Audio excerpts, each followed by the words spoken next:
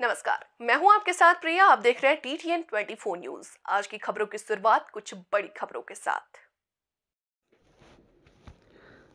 कैमूर में फाइलेरिया की दवा खाने से कई जगह के स्कूली बच्चे हुए बीमार तो कहीं भभुआ प्रखंड के जागी बराव पंचायत कि तरहनी गाँव में बच्चों को स्कूल का दवा खिलाने से स्थिति बिगड़ने लगी। आनंद फानंद में बच्चे को सदर अस्पताल भभुआ लाया गया। सूचना मिलते ही सदर अस्पताल भभुआ पहुँचे जिला परिषद सदस्य भभुआ विकास सिंह उर्फ़ लल्लू पटेल, जहाँ मौके पर उपस्थित जिला परिषद सदस्य ने बताया कि कैमूर जिला में कई गाँव से ये जानकारी प्राप्त हो रही है। बच्चों को विद्यालय पर दवा देने से उनकी स्थिति बिगड़ गई। बता दें कि कैमूर जिला में कई प्रखंडों में इस तरह का घटना सामने आया है, जहाँ विद्यालय पर दवा खाने के दौरान बच्चों की स्थिति बिगड़ गई। विकास सिंह उर्फ़ लल्लू पटेल ने कहा कि सभी विद्यालय और जिला प्रशासन से अपील करता हूँ कि जो भी दवा स्कूल पर दिया जाए, उस दवा की पहले जाँच करें, तभी दवा दें। अभी बता दें आपको कि भगवा प्रखंड के जागे पंचायत के तरहनी गाँव में बच्चों को दवा दिया जा रहा था, जिससे काफ़ी बच्चे बीमार हैं, और यही नहीं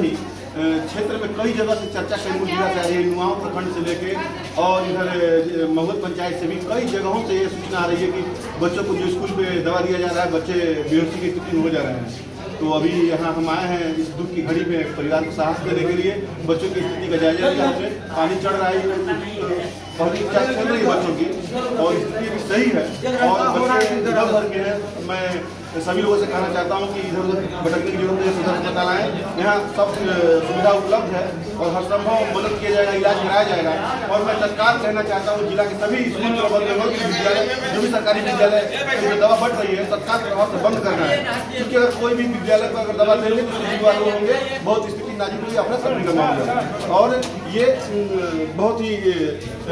दुर्भाग्यपूर्ण घटना है बच्चे बहुत छोटे छोटे हैं और दवा किस प्रकार रिएक्शन किया है क्या किया है दवा का जाँच होने के बाद भी कोई व्यक्ति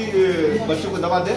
और इस दुख की घड़ी में मैं परिवार के साथ खड़ा हूँ और हर तरह से परिवार को सहयोग किया जाए। क्या नाम मैं विकास सिंह लल्लू पटेल सदस्य जिला परिषद कैमूर।